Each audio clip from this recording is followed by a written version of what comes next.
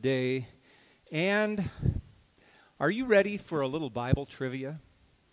We'll play a little game here. I have a Citipoint patch, leather patch. I've got a couple of versions of these and a keychain that is available for you to win. There's only seven questions, but you have to get all seven right. And for those of you who have already been privy to these answers, just by being privy to the answers disqualifies you. You're not qualified. So for most of you, you can. Uh, this is this is it. You're ready. You're, are you ready? All right. So Bible trivia question number one: What are the names? No, oh, you just have. This is an honor system. You don't shout them out. You just kind of write down, put a little mark on your notes to say, "Yep, I got that one right." And if at the end you have seven marks, you're a winner. Okay, so Bible question, trivia question number one. What are the names of the two first human beings? Now that's fairly basic. Can't say that I would have known that prior to um, like the age of 19 when I first came to Jesus, but maybe you know that. It's Adam and Eve, of course. So did you get it right? Okay, mark your thing. All right. Next question Where in the Bible does it say Cleanliness is next to godliness. If you just reference the book, that's fine. You don't have to have to have, to have chapter and verse. If you wrote nowhere, you're correct. That is not actually in the Bible. It's not bad counsel, but it's not inspired of God. Okay, number three. How was it that Noah and his family survived the flood? fairly well known story. If you wrote the ark or something like that, a large barge, that would qualify as well. You get it. You scored. Okay? Of the 12 disciples, which one formerly worked for the Roman government?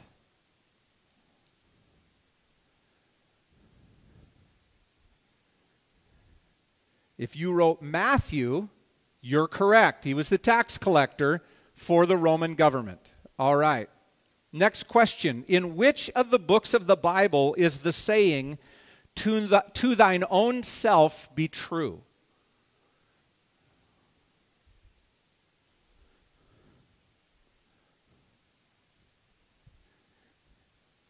It sounds like it maybe could come from Proverbs, but if you wrote none of them, you're correct. That's not in the Bible. In fact, that came from Shakespeare, I believe, and in fact, it's pretty much the mantra of our modern day culture and is quite antithetical to Scripture. And some of us are so entrenched in our own culture that we don't recognize that that is a contrary concept when it comes to the way we're supposed to live our lives. We're not called to be true to ourselves. We're called to be true to God. Right? Difference. Okay, next, number six. There are only two birthdays celebrated, mentioned in the Bible. Whose birthdays were celebrated? You could, you, if you remember last week's sermon, if you were here or participated online, you've got one of them. Herod the Tetrarch is one of them. Who's the other one? That would be somebody's thinking, is it Jesus? No, it's not. It's not. We celebrate his birthday, but it's not celebrated as a birthday in the Bible. It's Pharaoh. Back in Genesis, when Pharaoh and his cupbearer and his baker, they were in prison, and Joseph was with them, and they celebrated his birthday, and etc., etc. All right, so last one. I wonder, has anybody got all, all six so far? Anyone, uh, if you're not going to admit it? Nobody? Okay, now admit it. Do you have all six? Nobody. How about online? You can you can make some comments on Facebook if you want. Tell us how many you've got. All right, so here's the last one, and this is like maybe the toughest one. Of all Jesus' miracles, only two of them are recorded in all four Gospels. Which two?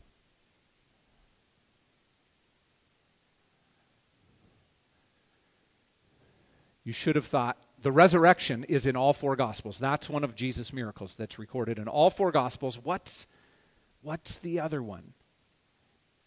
And if you were reading ahead, like we like to say, read ahead, get your mind, your soul prepared for the sermon, you would have read it in this week's text. It's the feeding of the 5,000. Interesting, isn't it? Of all of the miracles, the feeding of the 5,000 is the one, other than the resurrection, that is recorded in all four Gospels. That's interesting to me. That makes me pause and think why is that? We, we would know that all of Jesus' miracles were significant. In fact, John says that Jesus did a whole slew of other things, miracle, miraculous things that aren't recorded in the Gospels. So the ones that are recorded in the Gospels are all important. There's all the significance to them. And I wouldn't, I'm not, you know, purporting to think that, um, or for, for us to think that because the feeding of the 5,000 is recorded in all four Gospels. It's four times more important than all the other miracles. That's not what I'm saying at all. But we would, I don't think we would be wrong to think maybe there's some significance to that. Maybe there's a reason for this miracle to be recorded in all four Gospels. And that's what we're going to discover today. Okay? We're going to talk about why that is. This is a famous account in this sub series called Famous. And so it's familiar to many of you, but let's read it so that we are fully grasping what's taking place, and then we'll work through our text. Starting in verse 13. Chapter 14 of Matthew's Gospel, starting in verse 13. Now, when Jesus heard this, he withdrew from there in a boat to a desolate place by himself. But when the crowds heard it, they followed him on foot from the towns. When he went ashore, he saw a great crowd, and he had compassion on them and healed their sick. Now, when it was evening, the disciples came to him and said, This is a desolate place, and the day is now over. Send the crowds away to go into the villages and buy food for themselves. But Jesus said, They need not go away. You give them something to eat. And they said to him, We have only five loaves here and two fish. And he said, Bring them here to me. And then he ordered the crowds to sit down on the grass, and taking the five loaves and the two fish, he looked up to heaven and said a blessing. And then he broke the loaves and gave them to the disciples, and the disciples gave them to the crowds, and they all ate and were satisfied. And they took up twelve baskets full of broken pieces left over, and those who ate were about 5,000 men, besides women and children. So we have this account that is uh, recorded, as I say, in all five, all four Gospels, the feeding of the 5,000 with just a handful of small loaves of bread and a couple of fish. And we know if for people of faith, and if you're not a person of faith and you're just exploring the teachings of the Bible or this person known as Jesus Christ, if you're if you're just in that investigative state, I welcome that. We as a church welcome that and pray that you're just able to process and take in what you, what you can here, and, and may God lead you in that. But for those of us who are people of faith, this isn't a story. This is a story, an account of, of one of Jesus' miracles that's pretty, pretty well known. It's a, it's a famous account. There's, there's things for us to learn here that I think there's nothing that's recorded in the scriptures that's really incidental meaning it's, it doesn't carry weight. All of it matters. Even the order in which things happen matter. The order in which they're recorded matter. So let's take the scene. It opens up with Jesus wanting to get away. He wants to be alone. And he finds out, uh, because he found out that John the Baptist, who was his cousin, uh, the forerunner of his ministry, we noted last week that Jesus is the one who said John the Baptist is the greatest, the last and greatest of all of the Old Testament prophets. And John the Baptist has just been executed by Herod the Tetrarch. And when Jesus hears this, as it says in verse 13, when he heard this, he wanted to get away he wanted to he wanted to find a remote place a desolate place where he could be by himself. Now when he says by himself we do have to recognize that especially we, we know this to be true because in the other accounts in the other gospel accounts the disciples are with him. We note it here that they're with him but he's getting away to a remote place by himself with his disciples. And here's what we see. Matthew purposefully tells us as the scene opens that it was Jesus' compassion for others that was a counterbalance to his own desires. That's number one. That's the first thing we see in these verses. He hears about his cousin who's been executed. We, we could speculate a bit here and think uh, for sure he's grieved by this. For sure there's a sense of, of um, shock and, and mourning that he's, that he's going through in this. It could also be that he's beginning to see the shadow of the forthcoming cross begin to form here, and he's recognizing that he's going to pass through the courts of Herod himself uh, in not not very long, and and so there's a lot probably that Jesus is processing. There's a lot of things that he's going through in this moment, and so he wants to withdraw. He's been with crowds, he's been doing thing, teaching and doing miracles, and it would just be nice to be by himself for a little bit, as it seems Matthew is telling us. So he gets in a boat and he's on the Sea of Galilee and He's going to go to a place that's not populated. It's a desolate or a remote place. And he and his disciples are sailing away, but the crowd on the shore sees them and they recognize Jesus and his disciples. And of course, because he is who he is and people are attracted to him, and, and it's a magnificent you know, ministry that he's been running. And, and, and, and so they follow him on shore. So the boat's traveling down the lake and they're following on the lake shore. And in fact, Matthew tells us that they got there before Jesus did. And so when he shows up, here he was hoping to be by himself, but he's facing a crowd of people that are, they have needs. And so Jesus' compassion, Matthew tells us, is a counterbalance. It, it's, an, it's something that is an offset to his own desires. So a counterbalance is um, like a forklift is a really good illustration of a counterbalance. Something that's something this great big load that's in the front of the uh, in the front of the forklift is offset. The load is offset by the weight of the forklift itself. The base of the forklift is actually for this for its size is very heavy. And it's and it's an offset, so it counterbalances the load. So when we say Jesus' compassion, his compassion for other people, his compassion for the needs of others was a counterbalance to his own desires. He, he had he, he wanted to get away, right? To be by himself. And, and the presumption is, and I think it's a fair presumption, that is that there's, there's a sense of grief. He's, he's mourning the loss of his cousin. So he's, he's personally hurting and feels that he has his own desires, his own needs, but then there's the needs of others that act as a counterbalance to that. His compassion offset his own desires, and he healed their sick, we're told. We, we see this as the, the very makeup of who Jesus is. Uh, because when it's in the most critical, most gut wrenching, physically agonizing part of his ministry, when he's facing the cross, we see this, this same sort of counterbalance or offset where Jesus clearly does not want to go to the cross. In fact, he's praying earnestly to his Father in the Garden of Gethsemane for another way so that he does not have to endure the cross. And yet he comes to the conclusion there is no other way, so therefore he says, Nevertheless, not my will, but your will.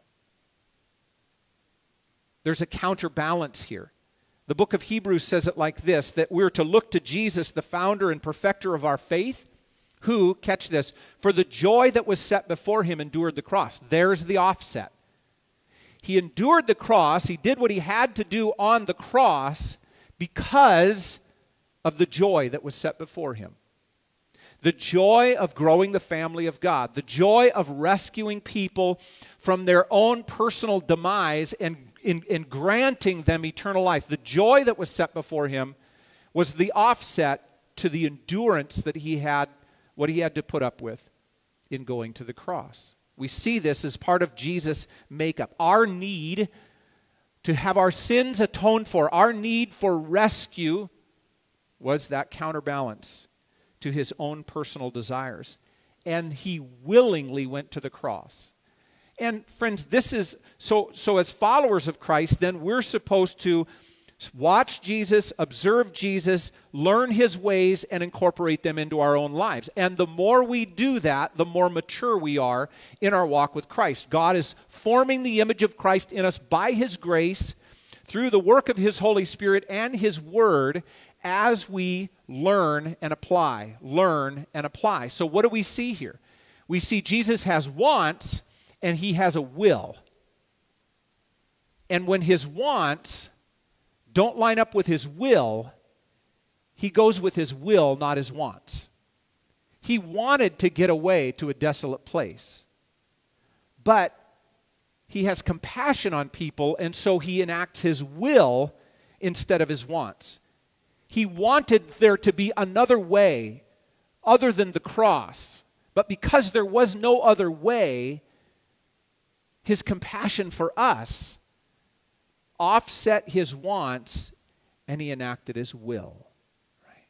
That's important for us to grasp. As followers of Christ, we follow his lead by being compassionate toward the needs of others and not just satisfying our own desires. Matthew includes this in the gospel, and I think the other gospel writers include this in there. We're, we're beginning to understand why is this included in all four Gospels? This is a bit of it, friends. This is part of this. Jesus is training his disciples. He's doing something for the crowds, no doubt. He's having compassion on them, healing their sick, but he's training his disciples. And in fact, he's training his disciples today in this moment. He's helping us to understand what it means to follow him. I was thinking about the the nature of the church and the, the reality of the church running, functioning, and moving forward in its mission only because people sacrificially give, serve, volunteer to do whatever it is on a week to week basis and special events and different things. And the, there's, the church simply could not function without a myriad of volunteers, mostly, the super, super majority being volunteers. And I was thinking about, you know, the reality is if you were to have an honest conversation with every single person who volunteers, whether this morning or any other time, and to say, are there things going on in your life that could have prompted you to say, I'm not serving? I, I don't. I'm going through something personal. My family's going through something. There are burdens, there's heartaches, there's busy schedules, etc. Is there are there things that would keep you from volunteering? And, and I my guess is every single person would say, "Yep, yep, I just I just do it because this is really important. I do it. I want there's times I want to do something else, but I know the, the mission of Christ through his church is very important.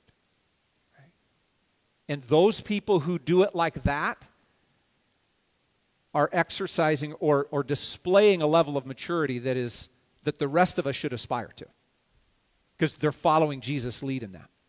He has compassion, it's a counterbalance to his own desires. Here's one that is, th- th- this one is painfully, um, how do I, painfully prevalent? How about that? Um, wearing a mask. Wearing a mask in public. Uh, you go into the grocery store, they kind of make you do it. Uh, go into any other, you know, restaurant, whatever, you're supposed to put it on, keep it on till you're sat down, all of that sort of stuff. And then we come to the church, and it's like, man, could we just have a little freedom? And I, I don't disagree with you. Could we just have a little freedom? My guess is most of us would really like to not have our masks on, even right now. But because of the nature of things, the well being of others, and even the regulations, um, we just keep our masks on, even when we're seated, because that's what's supposed to happen, and that's what's required, and it's it's a little it's a little old, isn't it? Feels a little old, but we're we we we can't relax our standards on that, um, and so your compassion for others should be the offset uh, for your desire to take your mask off. And other people are showing up because they've heard that we are being careful with COVID 19. And, and so when you take your mask off, they say, I'm not coming back because they're not being careful. So, this is my very, very kind and compassionate way of saying, you got to keep your masks on, even right now. Philippians 2 4 says, Let each of you look not only to your own interests, but also to the interests of others. So again, it's your want, your desire versus compassion for others. Romans 15 1, we who are strong have an obligation to bear with the failings of the weak and not to please ourselves. The failings of the weak there really is about somebody who has a hypersensitive conscience. If somebody has a very hypersensitive conscience in ways that are not directly related to the scriptures, it's they're weak in their faith. Their, their conscience is not yet lined up to Scripture. And any of us who are strong in our faith, we don't look down on them. We're told we who are strong have an obligation to bear with them. To bear with really actually means to put up with, right? We put up with that and not please ourselves. That's what we're called to. And so Jesus' compassion here, as we see this, it's a counterbalance. He wants to get away, but these, these needs are here and they're present, and he and it's a counterbalance. It's, it's, it doesn't mean he doesn't take care of himself. It just means that he's got others in mind. We don't look out for our own interests, but all, in other words, our only our own interests, but also the interests of others. And that's what we're called to. That's what we see in these verses. Now, when we get into verses 15 through 18, the disciples struggle initially, but they finally come to the place where they bring what they have to Jesus. So that's number 2. Let's let's read verses 15 and 16. So it says, "Now when it was evening, so it's the end of the day, right? The disciples came to him and said, This is a desolate place, and the day is now over. Send the crowds away to go into the villages and buy food for themselves. now, if you've been around for a while, you've heard sermons on the Sermon on the Mount, I mean, Sermon on the Mount, on the feeding of the 5,000. Um, you, you probably have heard messages where the teacher or the preacher at this moment begins to disparage the disciples for being selfish, for, for being uncaring.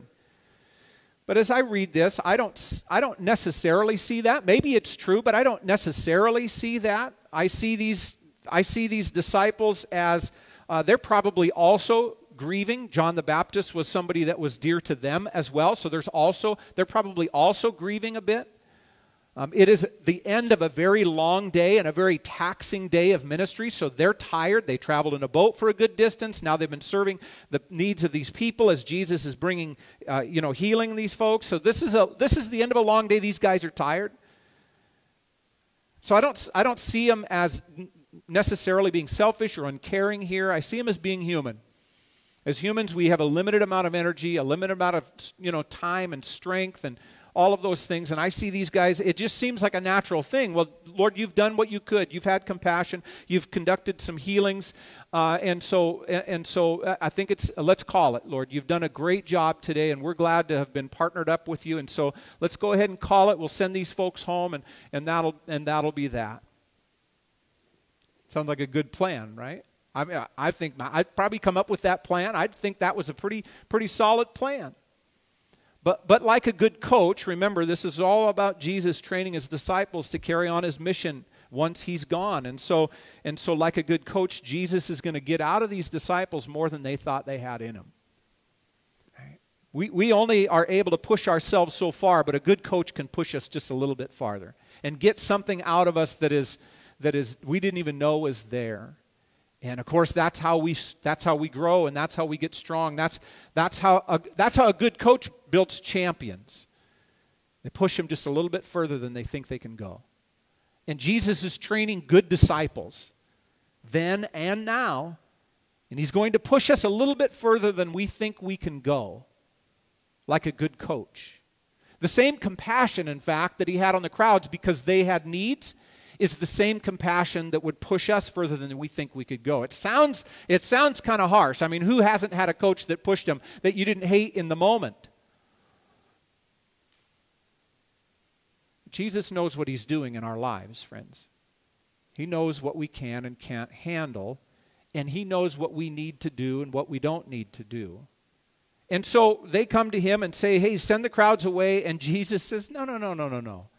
No, guys. Let's, let's process this for just a minute.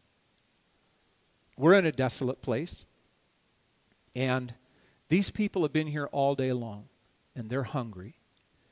And so we have not yet exhausted. You might be exhausted, but we have not yet exhausted our compassion for these people. So rather than send them away, here's an idea you give them something to eat.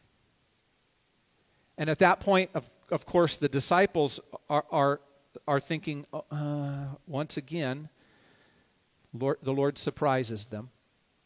They're, and they're like, what do I do with this? What, what do I do with this? they're, they're probably thinking, Lord, we, we were on the boat with you. You know, you know we didn't bring truckloads of bread and fish over with us.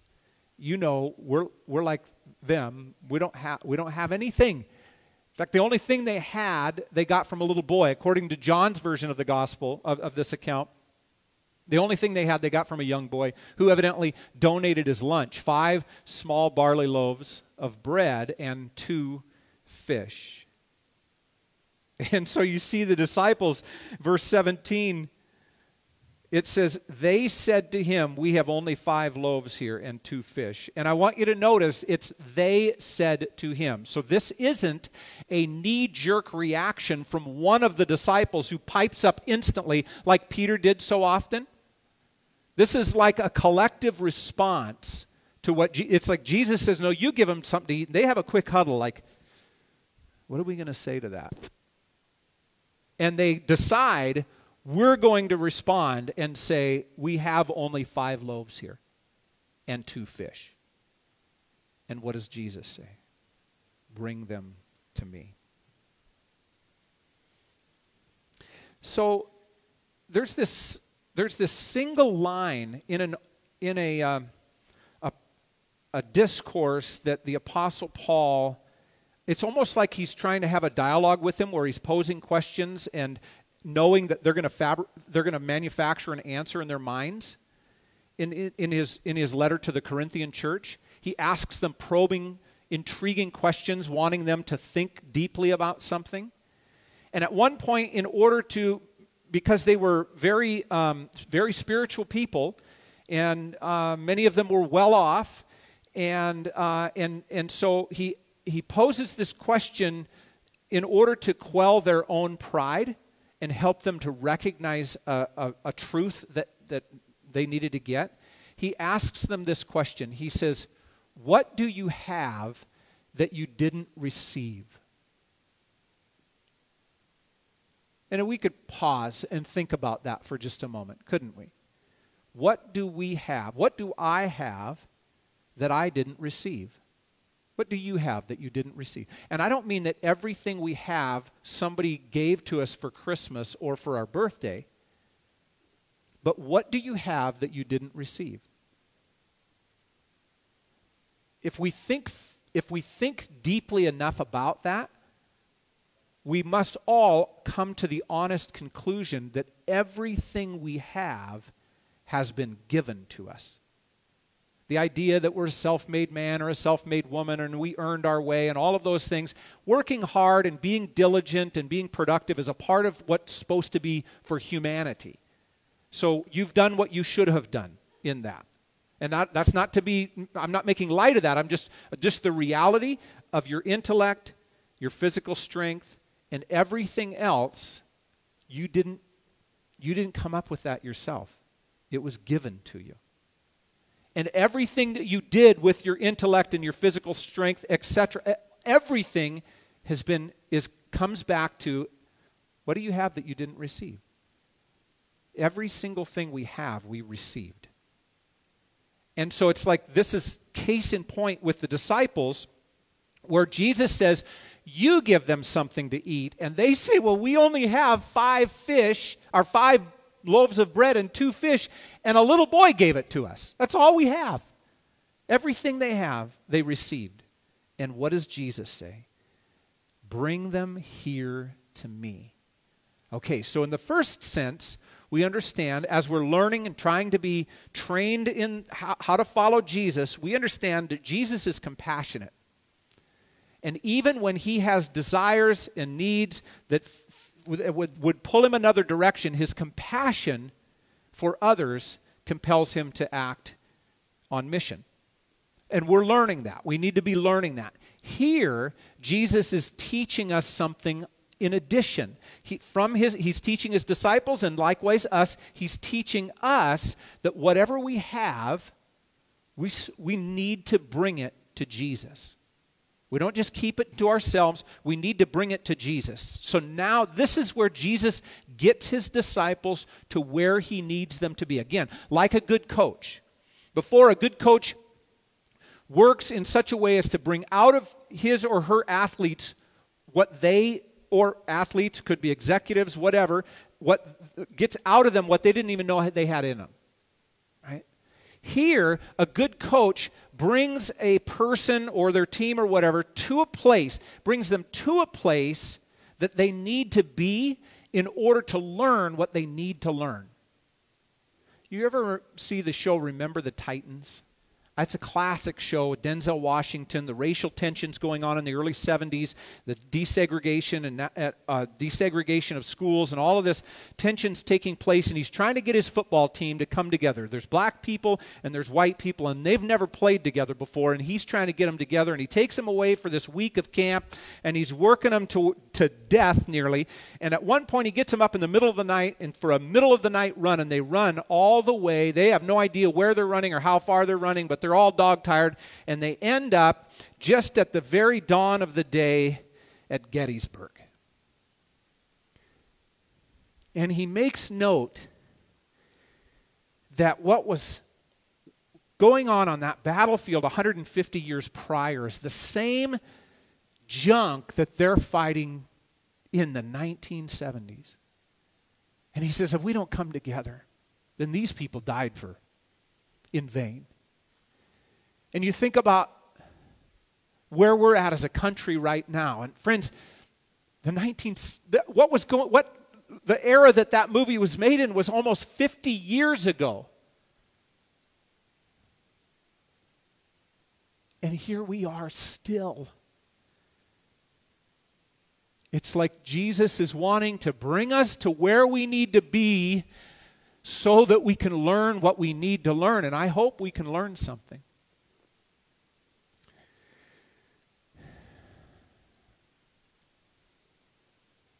He needs to instill this principle in us, friends.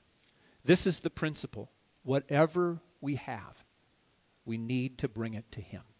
Whatever we have, we need to bring to Him. So Jesus got them to this place that He wants them to be so He can teach them what they need to learn.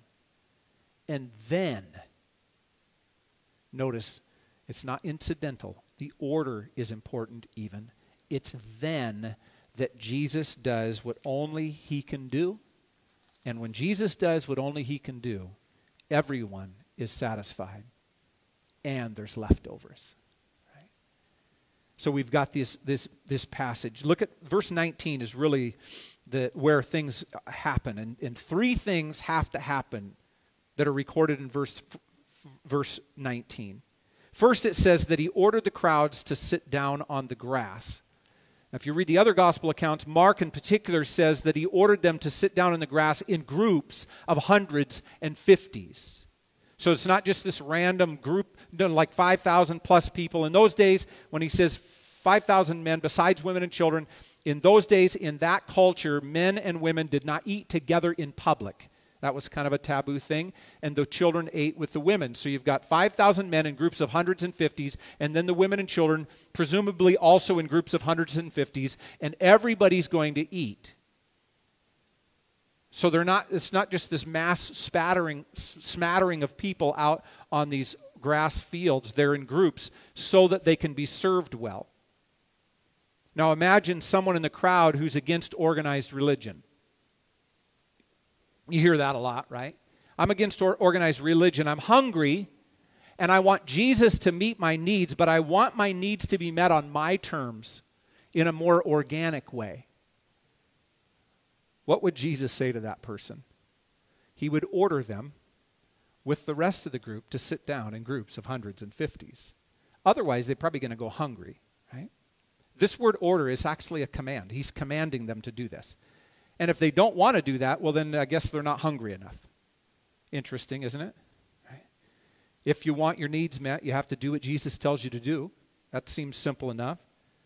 And Jesus is telling them to get organized, to plan, to, to have, have some structure so that's the first thing I see in verse 19. But then the next thing is we got to have the blessing of God. If there's going to if everyone's going to be satisfied and there's going to be leftovers, we got to have the blessing of God. So order, orders everybody to get onto the grass and then taking the five loaves and the two fish, he looks up to heaven and said a blessing. Again, he's he's training his disciples. He took what the disciples had given him and he looked up to the Father and said a blessing. See, friends, that is so critical. Again, what did you have? What do you have that you did not receive? Whatever you've received, you give it back to God, and He will add His blessing. And so, without the blessing of God, five loaves of bread and two fish are going to remain five loaves of bread and two fish. But with the blessing of God, miraculously, five loaves of bread and two fish, divide and divide and divide until everyone is satisfied and there's leftovers. So there's one more part here, though. At the end of verse 19, it says, after saying the blessing, that he broke the loaves and gave them to the disciples, and the disciples gave them to the crowds. I'll push pause on that for just a moment. If you remember from the account in the Old Testament, the children of Israel wandering in the wilderness and being out in this desert place, that many hundreds of thousands of people, there's no way for them to grow any crops or to catch enough game. You don't catch game, you kill it. I know. It, you could har- you could say harvest. But there's no way for them to meet all of their needs. They just don't have what they need. And so God provides them manna from heaven. And it just showed up every day. They would go out in the morning and they would be on the ground. Just, just these, this flaky bread like stuff. And God f- provided for them like that day after day after day for years.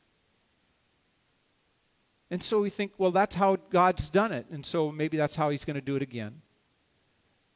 Take these five loaves of bread and take these two fish and look toward heaven and say, Father, and say a blessing. And, and, and then all of a sudden, it just kind of comes from heaven. It didn't work like that, did it? It's, we gotta, that should cause us to go, huh, that's interesting. God did it like that before, but he's doing something different here under the ministry of Christ. Why, why is that? See, here's what we got to get Jesus' compassion for others, what we've already noted, Jesus meeting other people's needs because of his compassion, always includes his disciples. That's why, even when he wanted to get away by himself, he wasn't by himself, he was with his disciples. He wasn't all alone, his disciples are with him.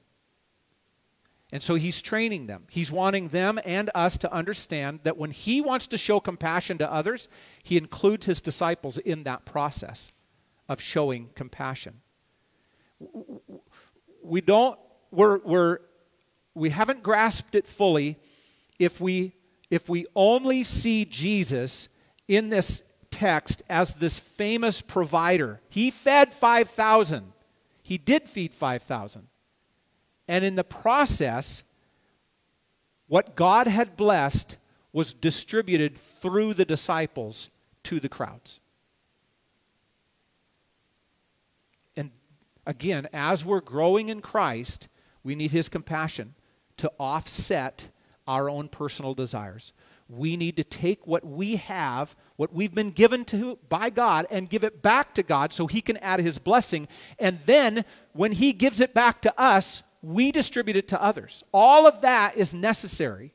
All of that is part of what it means to follow Jesus. So we don't want to just see him as this famous provider, like, wow, Jesus does miracles. We have to also see that we are part of his distribution team. What Jesus has given to us, whether it's skills or resources or money, etc., we need God's blessing on it, and we need to be a part of his meeting of other people's needs. It's part of his compassion. Now, here's a, the last couple of thoughts here are interesting to me because there's leftovers. You think, why, why are there leftovers? And I know some of you have an aversion to leftovers. I, I, think, I think leftovers are wonderful. I, I like leftovers.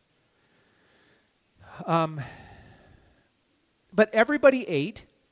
And again, when we read the other accounts of this same story, it says they ate as much as they wanted, which means the disciples are they're like playing waiters. They're oh, oh, this this group of 50 needs more bread. Let's go get them more bread. And oh, they need more fish, and let's get them more fish. And this group of 100, same thing. They they had as much as they wanted. They all ate and were satisfied. And there's leftovers?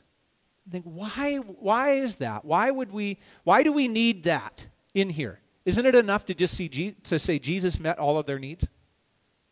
Because he's compassionate? Why are there leftovers? See, I'm intrigued by these things. I, I have to interrogate the, the text here and go, what, why is this? And here, here's my conclusion. And you, prob- you might have a conclusion as well. Here's my conclusion.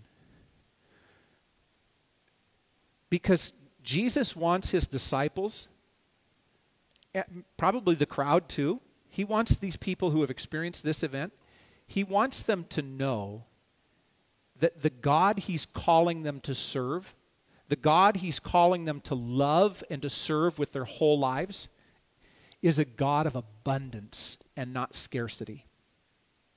He wants them to know that the God that they are, that he's calling them to give their lives to,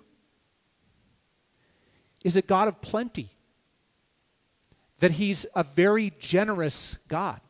Uh, that's my conclusion.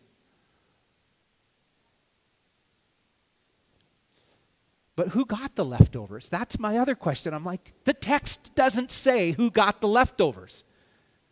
I want to know these things. It might be the little boy. John says a young boy gave five loaves, two fish. Maybe, maybe Maybe Jesus got all those disciples to grab those 12 baskets of bread and fish and brought it to that little boy and said, There you go, buddy. I don't know. Maybe. You know what I actually think? I think the disciples got it. Now, in a few weeks, we're going to find the account of the feeding of the 4,000, and the math isn't the same. The feeding of the 4,000, that there's not 12 baskets left over. There's leftovers, but not 12 baskets, so it doesn't, it doesn't hold consistent. But in this setting, there are 12 disciples who are part of Jesus' distribution team, and, and there are 12 baskets full, baskets full left over. So that's, it's speculation. And so, I, and I readily admit that. It's, if it was in the text, I would say this is in the text. But we're just trying to figure it out. Why, but we're told they're there. I think that Jesus gave them to the disciples. And here's why I think that because it would be consistent with how God blesses those who serve him well. He blesses. It, when it says all ate and were satisfied, I don't think it's just the crowd. I think it's the disciples are a part of the all. They also were satisfied. Right? So I, I again, maybe. But this passage is teaching us, friends. It's a very familiar passage, but it's teaching us. We need to see Jesus' compassion offsetting his own personal desires, and we need to learn that. We need to see that Jesus got his disciples to finally bring what they had to him because he needed to add the blessing. And we need to learn that. And we need to learn that when we do this, when we work in the way Jesus is training us, everyone's satisfied and there's leftovers. And that's a good place for us to be in, friends. So, why, back to the original question, why, of all of the miracles, why is this one in the scriptures? Why is this one recorded four times in each of the, uh, four times in the Gospels, right? And I believe it, it's, it's what, how I'm stating it is our big idea. I believe it's this with Jesus, whatever we have is more than enough. I, believe that that's why this passage is recorded all four times, because there's something very critical for us to understand as followers of Christ. And if you're not a follower of Christ, it's, un, it's very important for you to understand in considering becoming one of his followers that with Jesus, whatever you have is more than enough. Because of who he is, not because of what you have or who you are, but because of who he is. Whatever you have is more than enough. It's the same sentiment the Apostle Paul when he wrote to the Philippians, thanking them for their generosity toward him as he's in prison for the sake of the gospel, and they've supplied his needs, and he thanks them. And he confesses, I know what it's like to have a little, and I know what it's like to have a lot, and I've learned the secret of being content, and that is that I can do all things through Christ who gives me strength. So, whatever you have, whether it's a little or whether it's a lot, with Jesus, it's enough, friends. And that's an important thing for us to grasp as his followers. So, we'll call that our big idea for the day. Jesus is not limited by a little if it's offered to him. The little we have, when brought in faith to Him, are the ingredients for a great miracle. So let's talk about ways that we can respond. First, if you're, let's say, a part of the crowd that has not, you're, you're, you're getting familiar with Jesus, you're, you're learning a little bit about Him, but you're a part of the crowd that has not yet put your trust in Him. I believe this miracle is meant to teach you that Jesus cares about you and that he will care for you, just like he did in this, in this account. He cared about that crowd. He had compassion for them. And in caring about them, he cared for them. So if you're not a follower of Christ, you've not yet put your trust in him. He cares about you, and he will care for you. So trust him and become one of his followers today. You receive him by faith. It's a simple acknowledgement that you need God's grace and forgiveness and that you want Jesus to be your Savior and your Lord. Now, if you're one of his disciples, I think that you are already learning that he cares about you and will care for you. You're already learning that. You're already knowing that. And the reminder's nice, but I think there's something else here too. I think that this miracle here is meant to teach you what to expect as you follow him. I think what you can expect is as Jesus has compassion for others, he wants you to have compassion for others. So you can expect to, at times, subordinate your own wants to a greater cause. Again, the passage from Philippians that we read is it doesn't say that our interests are insignificant. It simply says others are important also. So expect to subordinate your wants to the needs of others. Expect to be expected to care for others. The disciples, tired as they were, were expected to stay on their feet and continue to labor. And that, that's a worthy expectation because we can also expect Jesus to use our efforts. As tired as they were, Jesus was using their efforts. And we could probably say the same at times. That's a pretty, um, talking, talking about being satisfied, that's a very satisfying sense to know that you've been useful to God. Is there anything better? I think we can expect Jesus to multiply our efforts. That we do what we can with what we have, but He adds His blessing, and friends, then we see the real miracle. And we can expect Jesus to show His generosity to us as His disciples. It's meant to teach us what to expect when we follow Him. So, as a follower of Jesus, I'm going to compel you to make some commitments this morning. Some of you have already made these commitments and it'll be a reiteration. You'd say, Yes, I'm reinforcing that. Others, maybe it's time. Commitment number one I will allow compassion for others to offset my own wants. Notice I just said yes or no. It's not on a continuum. Like, yeah, I'll do that 55% of the time. It's yes or no. And you're not going to live that out in perfection because you're still a human being and you still have, you know, that selfishness and all of that. But you're committed to it. You're saying, Lord, this is really what I want. This is what I'm committing myself to. Allow your compa- my compassion for others to offset my own wants. Number two is I will bring what I have to Him, and whatever that might be your talents, your skills, your goods, your resources. I think tithing is a part of that, offerings are a part of that. Hey, even something as simple as the, the anything auction would be a part of that. Right? How, how are we going to build a, a church, a mid sized church like Citipoint Church is? How are we going to build a building that's going to serve this community, this church, and this community for the next 75 years? How are we going to do that? Building, I mean, we're talking some multi million dollar project. Well, it's going to it's going to happen because we're going to do what we can and God's going to do what we can't. But if we don't do what we can, the five loaves and the two fish needed to be brought to Jesus. So even something as simple as the anything auction. Some of you are like, "Oh yeah, cute video," and then it's out of mind.